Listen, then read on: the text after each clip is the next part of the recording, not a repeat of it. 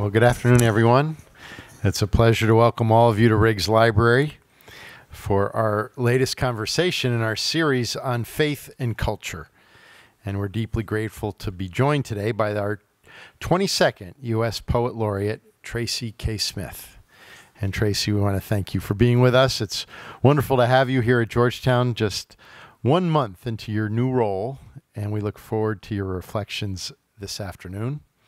I also wish to extend a special welcome to Bishop Paul Tighe, the Secretary of the Pontifical Council for Culture, and it's an honor to have you back with us, Your Excellency.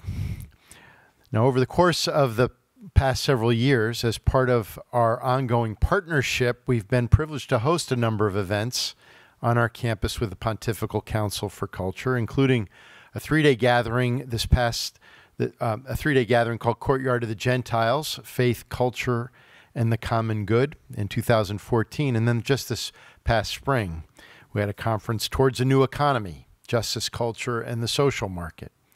So, Your Excellency, thank you for your extraordinary leadership in promoting dialogue and reflection on faith and culture and for your presence here this afternoon. And we're also deeply grateful to be joined by Paul Elie, the senior, senior fellow at our Berkley Center for Religion, Peace, and World Affairs, director of our American Pilgrimage Project, and curator of our Faith and Culture series here at Georgetown. Through this series, now spanning nine years, we've had the privilege of welcoming a number of distinguished authors and artists to the Hilltop, from Alice McDermott and Richard Rodriguez to Marilynne Robinson and Colum McCann. In recent years, we've welcomed, welcomed Christian Wiman and Billy Collins. Just last semester, Chimamanda Ngozi Adichie was here, as was Martin Scorsese. So this afternoon, we're deeply grateful to have the opportunity to include Tracy K. Smith as part of this series. Today, the author of three collected works of poetry, the recipient of a Pulitzer Prize for her, her 2011 collection, and writer of a memoir that was recognized as a finalist for the National Book Award, Tracy has demonstrated an interest and talent in writing and poetry from an early age, describing in her memoir a formative encounter with Emily Dickinson as a fifth grader. Growing up in Northern California, the youngest of five children, in a military family, she came to the East Coast to earn her bachelor's degree from Harvard University in English and, and American Literature and African American Studies. In 1997, she received her Master's of Fine Arts in Creative Writing from Columbia University, but before being recognized with the Stegner Fellowship in Poetry at Stanford. Earlier this year, when she was selected as Poet Laureate, she was serving as the Roger S. Berlind Professor in the Humanities and Director of the Creating, Creative Writing Program at Princeton. Her debut collection of poetry, The Body's Question received the 2002 Cave Canem Poetry Prize, and her second collection, Duende, earned the Academy of American Poets 2006 James Laughlin Award. She was awarded the 2012 Pulitzer Prize in Poetry for her collection, Life on Mars, which centers on the legacy of her late father, an engineer who worked on the Hubble telescope. And her memory, which she just wrote two years later, Ordinary Light, which came out in 2015, is very much an elegy to her late mother and one of the many ways throughout her career that she has reflected on the meaning of family, memory, faith, and loss. Next year, she will publish her fourth volume of poetry, Wade in the Water. In addition to exploring her personal experiences, her work her works provide an opportunity for us to reflect on race and identity, to realize ideas of faith and salvation, and to consider what it means to be American and how we might envision and enact a better future. In the words of our Librarian of Congress, Dr. Carla Hayden, Tracy's quote, Tracy's work travels the world and takes on its voices brings history and memory to life, calls on the power of literature as well as science, religion, and pop culture. Close quote. And presenting many voices and points of view and bringing the past into the present, Poetry is an invitation to empathy and understanding. As Tracy reminds us, quote, poems cause a person to slow down, to look and listen more carefully, and to submit to the validity of other voices, other perspectives, other kinds of truth. Poetry as an art form gives us practice caring about others and accepting that their perspectives can be as valid and vital as our own. Close quote. This is what brings us together today and why we are so honored and privileged to have Tracy with us to share her insights and the joy and empathy that an engagement with writing and language can evoke. And there's no better partner for Tracy in this conversation on faith and culture than distinguished author, editor, member of our community, Paul Elie. Before joining Georgetown, Paul spent nearly two decades in publishing as a senior editor with Farrar, Straus, and Giroux. He's the author of two books, The Life You Save May Be Your Own and Reinventing Bach, as well as essays and articles for The Atlantic and The New York Times, Vanity Fair, and Commonweal. Through his writing, his projects at the Berkley Center, his leadership of this faith and culture lecture series, Paul explores religious beliefs and narratives and invites us to observe, examine, and understand the place of faith in contemporary society. We are grateful to have him with us as moderator today. And now it's my privilege to welcome into conversation our participants today, Tracy K. Smith and Paul Elie.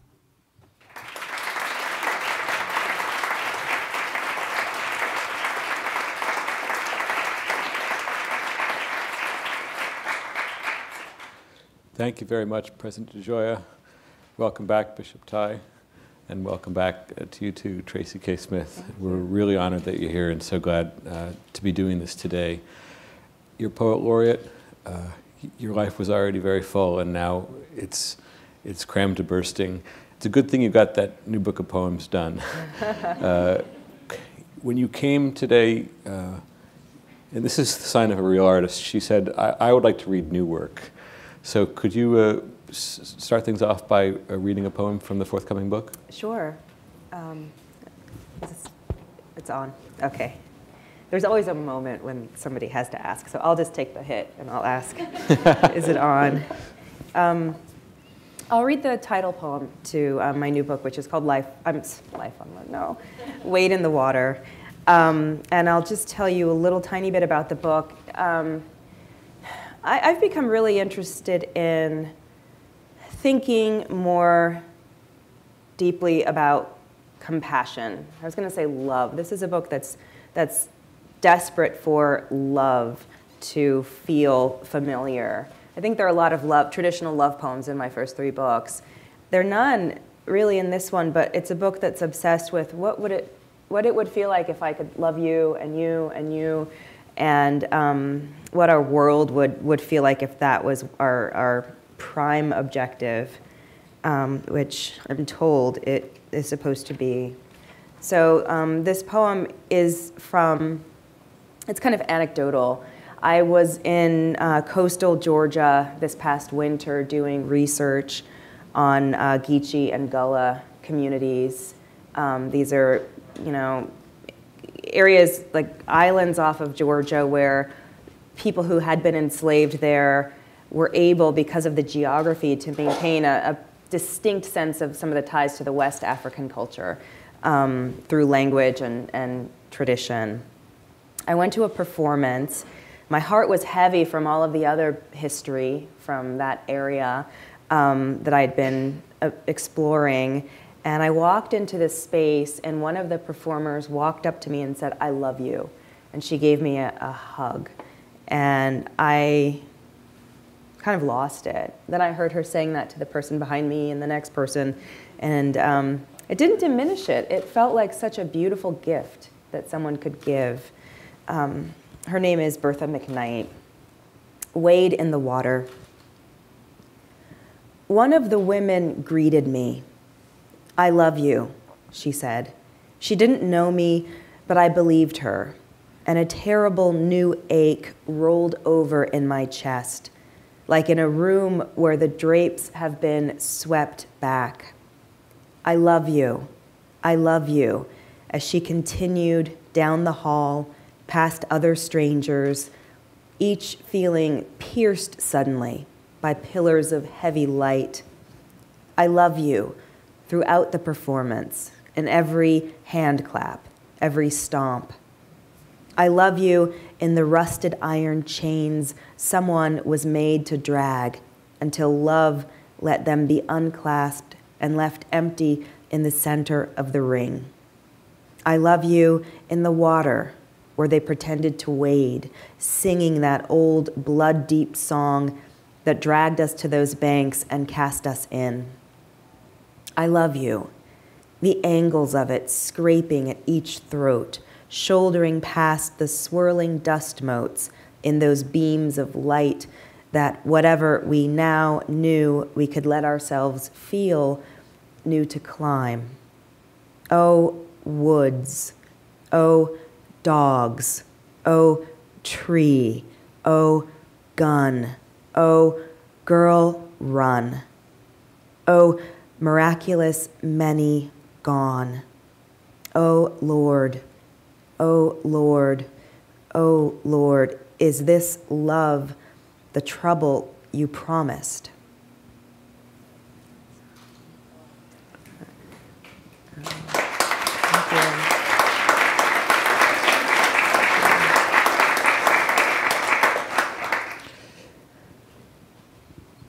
You're in the room, she's saying, I love you. Uh, does, does that present itself as a, as a, as a poem or a, a, a poetic moment to you? How much of it's there at that moment and how much of it's recollected in tranquility? I think most of it, I, I, hope, is recollected. I think in that moment, I was just there in, in that space, kind of responding to what her words created. And I, I brought that feeling home with me. And um, she's a member of a group that does ring shouts as a way of keeping this tradition alive. And I was listening to the recording of them.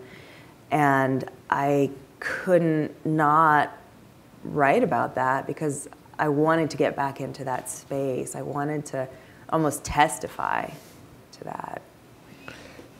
The word testify has all sorts of religious associations. The blood deep song that is referenced in the poem uh, and whose title it carries is uh, an African American spiritual. Uh, Fisk singers, Ramsey Lewis, Nick Cave, PJ Harvey. I worked my way through them this morning. Uh, what does it mean to, uh, to not only to write a poem with that title, but then to make that the title of your book? It situates the work in relationship to African American tradition, but also to the Christian tradition. Mm-hmm. How exactly? What, what's, what are you doing there? Um, well, I'm asking that book to, I mean, that work, that poem, I'm asking it to be like a beacon of the book. You know, I'm always interested in the dark realities of what it, you know, what it means to be alive. But I'm also really grateful for those other glimmers of something that feels larger than what we're normally capable of. So I wanted that poem to, to occupy that space. Um, as it happens, there is another poem that's thinking about water, literally, in the book that sits at a different register. Um, and it's a, a long poem there are a lot of found poems we were talking about at lunch in this book. So this is another found poem that's drawn from a, an article that some of you may have seen in the New York Times Magazine about four years ago um, about a lawyer who had discovered some chemical dumping, dumping that the DuPont company was doing um, decades ago in Pennsylvania. Um, I knew that was a, an important piece of journalism, and I wanted to find a way of of thinking about it in a poem. I didn't know how to do that, so I kept that article for years. And more recently, I've been reading a lot of um, narratives of, that come out of people's near-death experiences, which are they sit often at that beautiful spectrum uh, end of the spectrum where you know people experience a feeling of universal benevolence, um, and they're excited to come back and talk about it. Um, and so those two sources, I wanted to see if I could make them speak together. So there's a poem that, that's bringing these two um, bits of human testimony into the same space. Um, and that poem is called Watershed. So I wanted the beauty of the, you know, the ring shout um, to help look more willingly at all this other stuff we're capable of doing as well. So you have love, compassion, universal benevolence, and yet the key line of wade in the water, which is uh, brought into the poem, is about troubling the water. The Lord troubles the waters, and the suggestion, I think, is that the artist troubles the waters uh, maybe too. Is that um, w- what's going on there? Mm-hmm. Well, I, that, yeah. those last lines of the poem. I yeah, guess. is is this love the trouble you promised? I just wanted to keep listening to that song, and um, I, I I can't sing, but when I put my kids to bed during that period, I was putting my my twin boys to bed, and we would sing. I make them sing that song with me, and um, they would say, "Come on, wade in the water, guys, wade in the water, kids," because um, they didn't know the the words. But I I love that idea that this thing that's being um, believed in is fraught, right? God's going to trouble the waters. Troubling um, as a verb is something that's so fascinating to me because I think it's so necessary. I, I, I, use that verb all the time in the classroom. Okay, this needs to be, this sits in the poem in a way that hasn't been mined. Let's trouble it, you know, let's get in there and see what, how it can shock us. Um, and so thinking about love as that force um, that's disruptive um, made sense, especially when I think about so many things that demonstrate that we are willing to defend ourselves against love very aggressively. Um, there's another poem in the book that uh, draws upon that photo from uh, a few summers ago, Unrest in Baton Rouge, um, by the photojournalist Jonathan Bachman. It uh, came out of um, a Black Lives Matter uh, protest where a woman in a beautiful gauzy sundress is standing in the street. The wind is blowing the dress back. She's so unarmed and there's a line of police officers in riot gear standing her down. And, um, you know, the visual makeup of that photo tells me there's something that they fear that this woman has. And all I can see is kind of peace and love in her bearing. And I, I, wanted to explore that in literal terms. What if love is this thing, this blade we think can cut us, you know, this weapon that, that exacts something from us. Is that poem uh, brief enough that you could read it? Yeah, if I can. Because you, you really got me. Sure. Uh, okay. Wanted to hear it. Um, okay, Unrest in Baton Rouge is back here.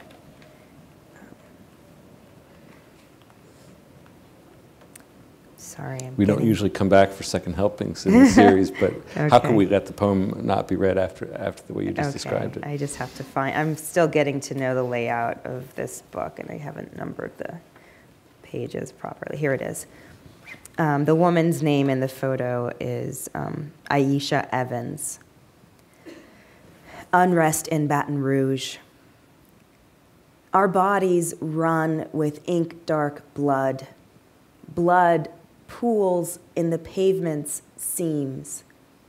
Is it strange to say love is a language few practice, but all or near all speak? Even the men in black armor, the ones jangling handcuffs and keys. What else are they so buffered against? If not love's blade, sizing up the heart's familiar meat. We watch and grieve. We sleep, stir, eat. Love, the heart sliced open, gutted, clean. Love, naked almost, in the everlasting street, skirt lifted by a different kind of breeze. Okay, snapping there.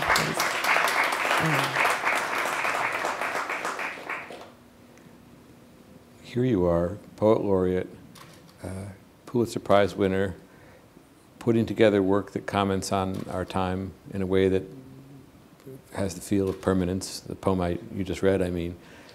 your memoir leads us through your girlhood to the time really when you started to become a writer. Uh, how did you get from that point to here? This moment of becoming a poet. Uh, can you tell us how that, how you recognize that, or how it happened? Uh, yeah, I um, I was one of those kids that loved language. You know, I loved reading. I liked making little things in language, but I didn't know that was a possibility. I'd never read a book by a living author until probably I left home for college. Um, Who was it? Oh, I, um, I'll tell you soon. I don't remember what that would be. I should know. I am just asking because Seamus yeah. Heaney was the one yeah, for me. Well, that well, yeah. he was one of the ones that made me feel like I needed to try and do this thing that he exemplified in his work. Um, maybe he was one of the first because I remember I was taking one of the big survey courses at Harvard, and we'd spent, you know, eight the first semester probably 18th century. We spent a long time, and I remember finally in the beginning of the spring reading Digging in the Norton Anthology, and then saying, "Oh wow, this is what I need to do. This is what I wish I had to say." and it's the way I would want to say it, and the sense of, of place and of childhood and of adult vocation that he brings together in that poem. Um, and the fact that it was so, I didn't have to struggle to hear that click that sometimes you have to wait for when you're first learning to read poems. I didn't have to do that. It, it entered me in a way that felt so exhilarating. Um, and that was during my sophomore year at Harvard. Was the Darkroom Collective, did that follow, follow on that experience? Yeah, it was around that same time. I and think it was that same semester that I met um, members of the Darkroom and started going to that reading series. And it was the next year that I started taking poetry workshops. And I think all of that happened because, in addition to just feeling, you know, so thrilled by what Heaney was doing in language and with private and public history, I also realized that what poems require you to do is slow down and look really closely at something small. Even if the poem is speaking to something huge, it's looking at these small details. And um, it felt like magic the way that those things could be transformed into other things. And I wanted to find ways of making the world that I knew but was still sort of mystified by um, better and clearer. And so I would write little poems about riding my bike in the city or about, um, you know, dancing or imagining my parents as young people. And just in these little tiny things, feeling, okay, I've touched this, I've touched something now, and it's different, and it will always be different. Um, and that just felt so useful to me. It was hard to imagine what else would be that useful, and it still is. So you just described a number of instances. There you are as a college student or graduate student going back to your childhood and finding small things there. Really, the big thing back there was religious faith and the language of religious faith. You said church and the language of religion were non negotiable in your household. Uh, there's a um, Baptist devotion that if, if it permeate, permeated your life the way it permeates your account of your life, it must have been very strong. How was the act of becoming a poet a kind of carrying forward of that language, or a leave taking of that language, or something else? I don't think I thought about it very much either way at that time. I think that initially it was just a, um, an act of meaning making um, but I could also come to recognize in what I was saying about my writing and other people's writing something that felt similar to what, what is said in the church or what is said um, about the, the Word of God. Like, we talked about our poems in workshop as though they were people. You know, your poem your poem seems to be trying to, you know, your poem keeps coming back to this. Why are you doing all this stuff to subvert that? Let's stop doing that and let's see what the poem is, is trying to say here. And um, you know, that other feeling of using my vocabulary, using my uh, ability to see and imagine, but also hearing something that wasn't me coming out also felt like it was an invitation to believe that there's something more at work. That's not hard for me to do because I was taught there is a lot more at work and, and you can pray to it. You can, you can have a relationship with that. So that came, that sense of, you know, credulity, I guess, came pretty naturally to me. Um, in reflecting on that time and reflecting on my mother who was going through um, cancer when I was in college and um, I now can see really clearly that there, there's a sense of, of um, there a parallel between this investment, the kind of faith that I was exercising and saying, I know that this is a poem. I know that there's something that I can make of this feeling, um, and what my mother was doing when she was praying, saying, I know, I know your will will be done, whether it's to heal me or something else. Um, I think the, you know, in, in my memoir, I call poetry a version of you know the language of the soul. Um, and i still really do feel like that. I don't think that you have to believe in the soul to write poetry but i know there are a lot of things that writers of poems say about the mysterious aspects of what they do um, an easy thing to do is to liken it to the unconscious mind which i do often as well um, the, the part of ourselves that is smarter and sort of probably ageless, and that is thinking in, in associations and perception, unwitting perceptions and dream syntax. Um, that's you know that that's also scientific. We can we know that's there, um, but then there are other there are other aspects of creative practice that do sometimes feel like a spiritual practice. So when you mention it, it's not really the language of the, the Bible or the parables from the Gospels or the letters of St. Paul. It's this language of the Spirit in a more general way.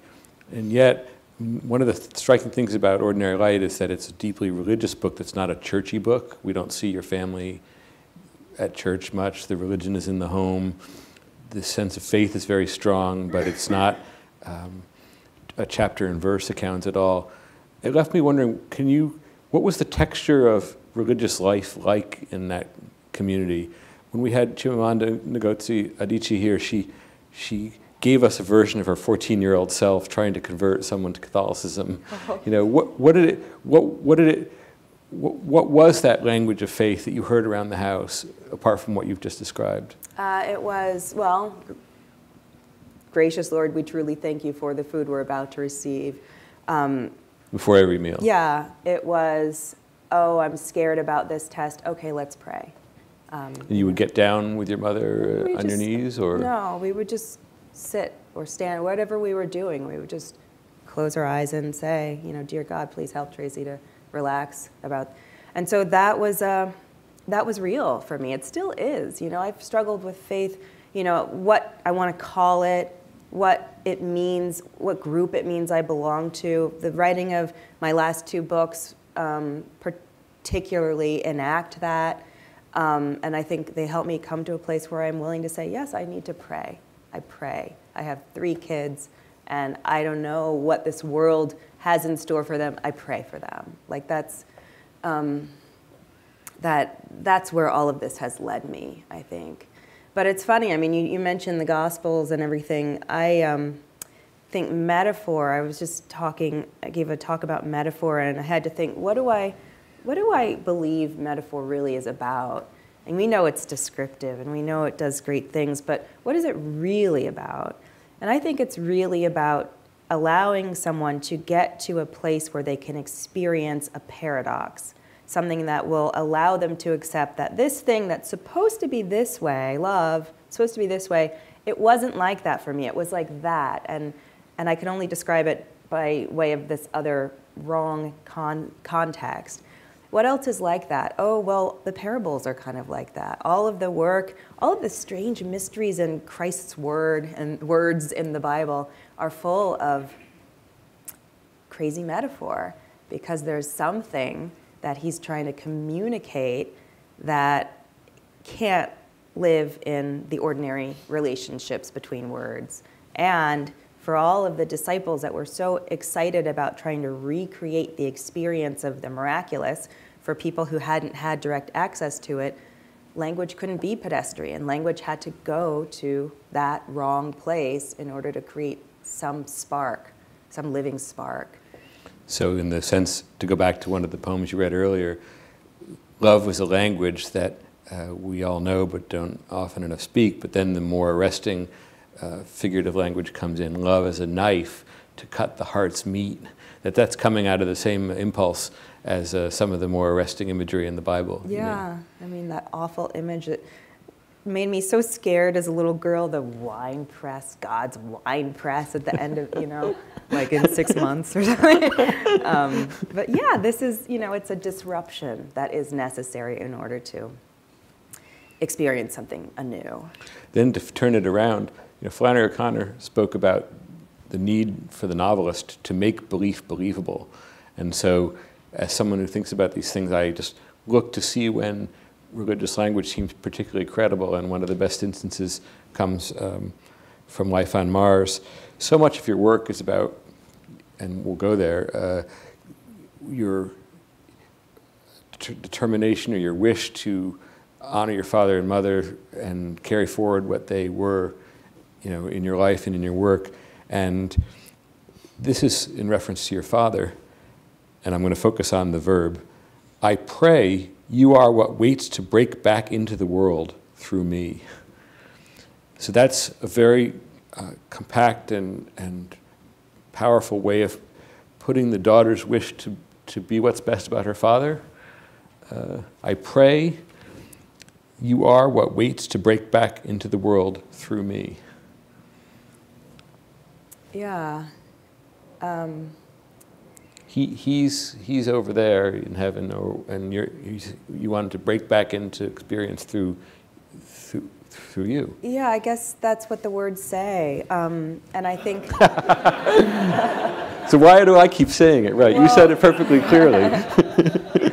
well, I say that because that's, that is what I wrote. And then I also know I wrote that poem while I was pregnant with my first child. And I was also using the joy and the mystery that was joyful um, in that you know way like oh there's someone inside of me growing and that person has a personality that I'll come to know that's all happening and she's probably connected to this weird system that also takes people away um, and so there's a literal tinge to that as well like oh maybe maybe he can really just come back.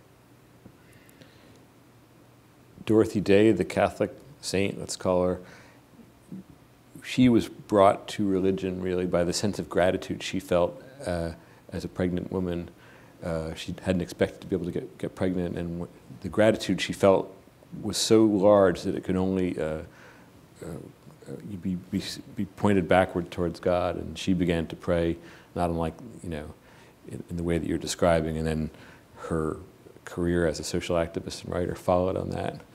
Now, as a as a parent, do you think about how to um, communicate these things to the next generation? You're singing "Wade in the Water" to your sons at bedtime. You're praying uh, to be what's best about your father for your daughter. Um, how how does it how is it carried forward?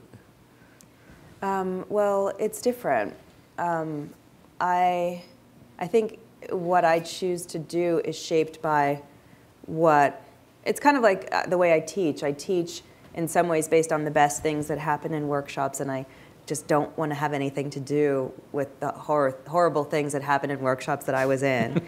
um, and I feel that way about, you know, instilling a, a, religious sense in my kids or making space for it. I want them to have someone they can say, I'm scared too who's not me, you know. I want them to believe that there is something possible that can't be explained. And I also don't want them to feel that believing that gives them the authority to judge or condemn people who don't believe that or who believe it differently. So the vocabulary is different. Um, we're not church going people. Um, I don't know if that will always be true, but I, I that's not what, what we do. Um, but my kids, we pray every night before we go to sleep. Wow. And um, I, I also talk to them about what I'm interested in that I don't understand about life. You know, I talk to them about how I think love is a life giving force. And it, it's not exactly a scientific statement, but wouldn't it be exciting if what we feel could make things happen? Um, you know, my, my boys are four, so those conversations aren't quite as elaborate. But my, but my daughter is, is eight, and she's very precocious, and she's very interested in moral questions. Um, she saw Star Wars as a little, little kid and was obsessed with the dark side. And so I felt like, oh, wow, okay, let's, let's talk about the, whatever the opposite of that is, too, like um, the force. And uh, yeah, I just, I'm, I feel like maybe she's, she's somebody that I can bounce ideas off of as, as they seem useful. And I also want her to know that and I think she knows this. Her vocabulary for things will probably be different from mine, and she'll teach me things in one day too. One of the things that comes across so clearly, especially in Ordinary Light, your prose memoir, is just what good people your parents were. Marilynne Robinson has spoken about the difficulty of writing about goodness. It's hard to write about, and it's also evidently not what the culture expects. We have um, memoirs of trauma and pa pathography instead of biography. But you put before us two thoroughly good people, good to each other, good to their children, good to their neighbors, uh, so strongly that, it, that I, I know their goodness through your words. As an artist, have you thought about that? The, the challenge of making them good on the page? Well, I think this is true for most writers. You know, the end game is publication, but that's not active in your mind for most of the process, right? So I was writing that book out of an obsessive need to learn something about my parents and also capture something for my kids who would never know them. My, both my parents are gone, my kids are um, I want them to know who we as a family were and who they come from. And so I just wanted to tell stories about them. I didn't really have an investment in building that sense of that they were good people. I just wanted to tell stories about who they you know, had been for me. Um, some of the questions that I had about them, like, what, you know, how how could my father have been so um, so capable and so willing to you know make our lives as children easy and happy um, despite what i imagine he must have been feeling at different moments in his life in the world you know he joined the, the air force when the military was segregated and how I don't know, like how, how did he deal with all of the realities that, that were real for him? Um, those questions came out as, as a writer. I didn't have those when I was a kid, but they came into the work because I said, you know, in one of those subsequent layers of the story, I said, wait a minute, I mean, what, what else was going on there? And, and what does it mean that it was invisible to me when I was a child? I'm struck by what you said about the memoirs for your children, not exclusively for them, but it's written with them in mind. When you um, engage with your parents in poetry, it seems that it's actually more directly between you and them somehow. And I'm wondering if that has to do with what you said earlier about this sense of, of an, um, the, of the analogy, let's say, between literary experience and spiritual experience. There's you seem to be striving almost for a kind of communication. I don't want to sound hokey with with your, your parents who are dead through, through the poems. Is that what's going on? Or? Well, I remember writing Life on Mars. Um, and that's what I, I mean, I wasn't trying to have Ouija board sessions with my dad. And they had, they had told you specifically. yeah, don't do that. Um, don't tip any tables. don't even go to our graves. Is that it? Yeah. Um, yeah. But I, I also, I, I, woke up each day. I was, I happened to be on sabbatical or maternity leave or some, some version of all this stuff. And um, I just woke up and I said, but I still, I just need to think about him. I need to think about him. And a poem allowed me to do that. I didn't know what the poem was going to say. I didn't know what it should say. And the, the elegies in this book, some of them are, are you know, little quick exercises in form because form helped me harness that wish a little bit. Okay, well, you have to say this because it's a ghazal. You have to keep saying this one thing over and over again while you're thinking about him. Um, and the memoir, it was more linear, I guess, right? I would say, I've, okay, I wrote this thing from 1978 and this thing from 1986. What happened in between those years? Well, let me go back and try and logically think about what I remember from, you know, this grade or this grade or this, you know, time of watching the news at night with my parents.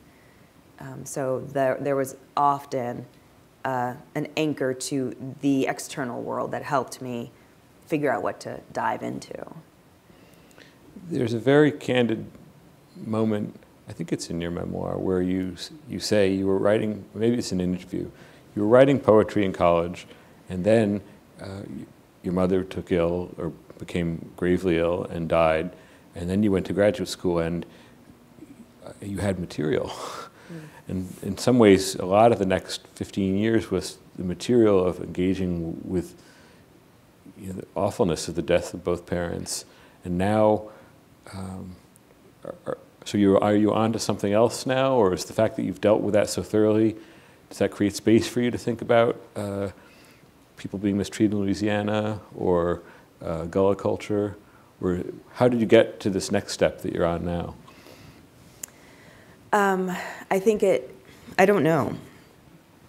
That's probably the answer that's honest. Um, I, I didn't have a lot of poems for a long time because this memoir took about six years to write. So no, not much poetry in that time? Yeah, not much poetry. That we talked about that Smithsonian poem. That was probably one of the first poems that I wrote um, after Life on Mars, and that was simply because I knew it would be um, smart to say yes to something that would make me write a poem. Um, and so I just allowed things to sort of get written and, and get put away. And then um, what usually happens for me, I come to a period where I no longer feel like I want to be silent. I no longer feel like it's enough to sort of just receive. I want to start making things. And that, for me, that came alive during my sabbatical last spring. Um, and so what was happening in the world was a lot of what I woke up to in, in language, you know, woke up to. Um, Is there a challenge of being poet laureate at a time when poetry and civility and compassion, needless to say, universal benevolence aren't uh, aren't common coin in Washington? I don't know what it's like to be poet laureate at any other time. Excuse me. I don't even quite know what it's like to be that now because it's only been about a month. But I, I have this hope that, you know, poetry is such a, if we let it be, it's such a beautiful practice and a, a humbling in a good way exercise to let language work upon us and to actually listen to language and to think this is a voice that's connected to a life and a person and a body somewhere and I've just spent 15 minutes with it. What would it mean to look at somebody and imagine that same depth is there in them? You know, like what would it mean if if I could listen with curiosity to a person in front of me. That seems like good political practice. If we could all listen for 15 minutes, then good things would happen. I think you're right. I can hear from the laughter that there's there are people in the audience who are have things to ask and things to say. I want to open it up to them, but first, just to circle back a moment to Seamus Heaney, because uh, Bishop Tighe, who's uh, here with us, um, knows a, a, good amount about Irish poetry. So I'd like to invite him to uh, uh, make a connection or two between your work and Heaney's with a question.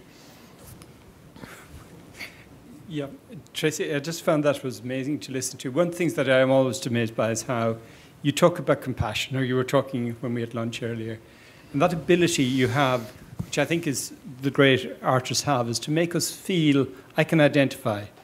As I think of my own parents, I can identify with stories you're telling. And that ability to help us to see, you know, very different backgrounds, very different experiences, and yet to see into almost into the soul of the other person, to see what's the commonality. And that I think I want to applaud. The Heaney line that the stuff I've keyed up a little bit by Paul, I found myself rereading a little bit of Heaney, particularly his stuff on seeing things. Mm. And he has this lovely idea of claritas. It's one of his poems, is Strophe is kind of titled Claritas, about seeing and seeing beyond and seeing more and seeing almost the invisible he has at times, how the visible is rendered perfectly, and yet the same, he's talking about a carving on a facade of a cathedral, I think in Orvieto, where there's a depiction of a baptism, the waters are pouring down, and he says it's rendered perfectly, but the invisible is even better, it's rendered even more. And I think that capacity of the poets to open up and to give us that little more. And I just want to leave a kind of question, this is pushing it a bit, but you talk there, and I love that. I love you, I love you, I love you. As a theologian, I always want to insist that God's love is gratuitous. It's free, it's given to us. We don't earn it, we don't merit it. But that means it's equally given and free for everybody else. Mm-hmm. And often we begin, I think, and there's a great theologian, not really recognized enough, I think, who says, we most of us grow up with a kind of sense of competition. We have to compete for everything we have to compete for the attention of our parents. If we're in families with, I'm one of six, so you learn make space for the others as well. But that yet you're no less loved for the others being loved as well. And that, do you think poetry can help at this moment? Be one of the ways in which Pope Francis talks about a culture of encounter, mm. where we can meet the other person and see the other person and see the good, not see them as threat, not see them as enemy, not see them as something to be frightened of, do you think poetry, maybe its moment is to, to get that sense of compassion, to help us to see into the lives of others and to see the rawness and the, what's in need of healing? And I think I love your idea. I think the faith at its best is always going to console. But if it doesn't stir and agitate and trouble, then it's also problematic. So just if you the poetry, its capacity, or where you think maybe the question I'm trying to turn this into, can poetry really begin to help us to think more on what unites us? I think so. I mean, I, I really, really want to believe that it can. Um, I really like what you said about the nature of God's love, which is that it's freely and equally given. It's not finite. Um, and it just made me think about how the language that we've been thrust into is the opposite of that because it's driven by the principles of an economic market where everything is valuable because it's finite. And the more you have and the more you can exclude others from having, the better off you are. And that language has infused everything in our lives, even our, our view of ourselves. You know, the only reason we want to be liked on this stuff is so that we can have more likes than, you know, it's it, it's like um, it, poetry, I think, is one way of buying out of that. It's a few like steps, right? But I'm, I'm thinking this. The language of a poem is not, um, it's not rooted in uh, being efficient in that way. And it's not rooted in persuading you towards something that you don't need and it's not um, even trusting of, you know, like the kinds of obfuscation and the bait and switch, all of these other, you know, mechanisms of this other, this other mode of, of, of speech. And once you become interested in the other things language can do, I think you become a little bit distrustful of, of what I just named, all of those things, those tropes of the market. Um, and so even if you're not reading a poem, when that comes at you, you feel it as an assault, as the assault that it is. Um, so that's, I think, an added good. I mean, that's a, aside from what you're, you're talking about, about of, of love and of compassion and of empathy. But if we have those things, love and compassion and empathy, and we also have what is essentially like a, a BS meter, um, then we're, re- we're in good form, you know? So. Thank you for that. Uh, and I should really say amen to that. uh, questions from the audience?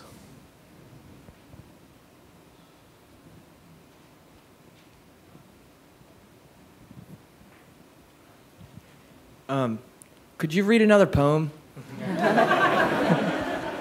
Is it okay? Of course.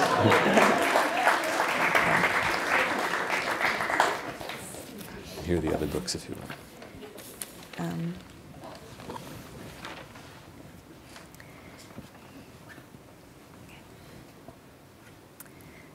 the angels. Two slung themselves across chairs once in my motel room, grizzled in leather biker gear, emissaries for something I needed to see. I was worn down by an awful panic, a wrenching in the gut, contortions. They sat there at the table while I slept I could sense them with a deck of playing cards between them. To think of how they smelled, what comes to mind is rum and gasoline. And when they spoke, though I couldn't, I dared not look, I glimpsed how one's teeth were ground down almost to nubs, which makes me hope some might be straight up thugs young, slim, raw, who bounce and roll with fearsome grace, whose very voices cause faint souls to quake. Quake then, fools, and fall away. What God do you imagine we obey? Think of the toil we must cost them, one scaled perfectly to eternity. And still they come telling us through the ages not to fear. Just those two, that once, and never again for me since. Though there are, are there sightings, flashes, hints. A proud tree in vivid sun, branches swaying in strong wind, rain hurling itself at the roof boulders, mounds of earth mistaken for dead does, lions in crouch, a rust stained pipe where a house once stood, which I take each time I pass it for an owl. Bright whirl, so dangerous and near. My mother sat whispering with it at the end of her life, while all the rooms of our house filled up with night.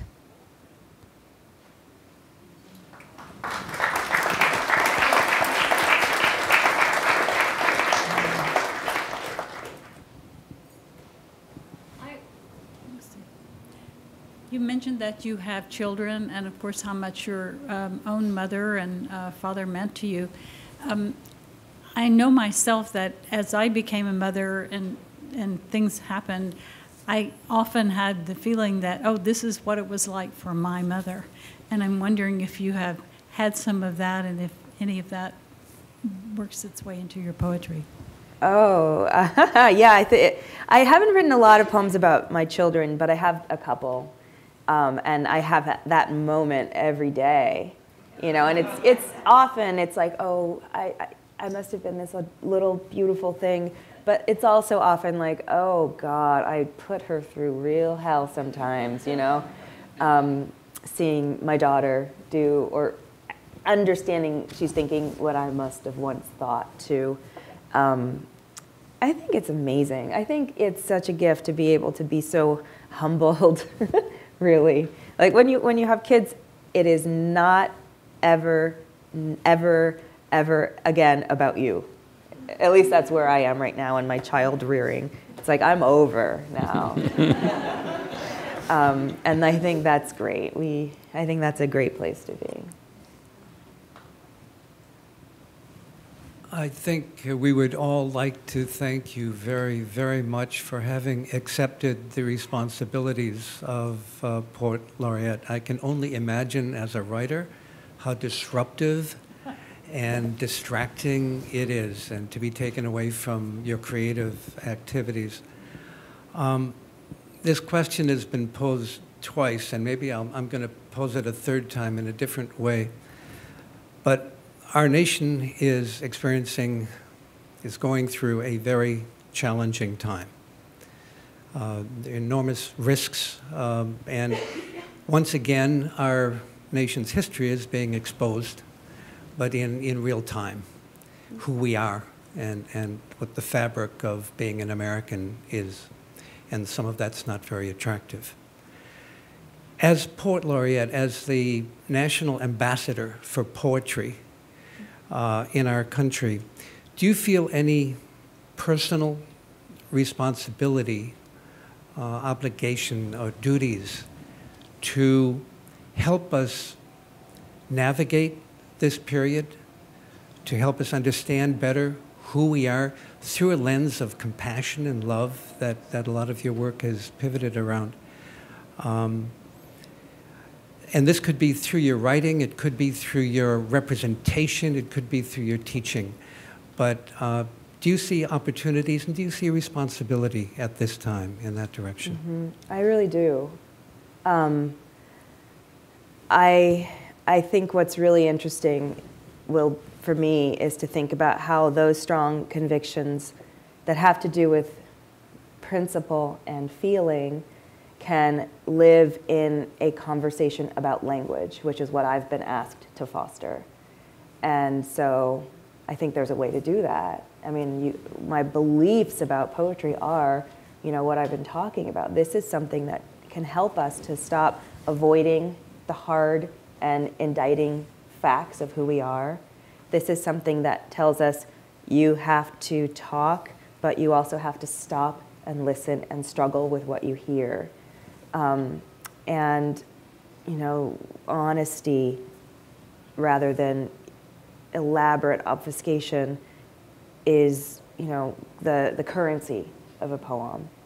And I think those things mean the same exact thing when you take the poem away and you talk about human interactions.